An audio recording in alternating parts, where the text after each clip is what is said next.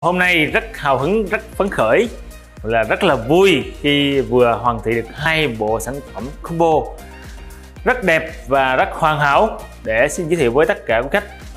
Đầu tiên là một bộ da màu đen xanh đen và có những cái sọc vàng rất là đẹp, rất là đẹp. Đây là nguyên một combo mà Kỳ Lân rất là tâm đắc. Từ nón, túi sách, túi clip thì clip trước Kỳ Lân làm rồi ví. Dây đồng hồ. Ốp lưng cho điện thoại. Dây thắt lưng. Đôi giày.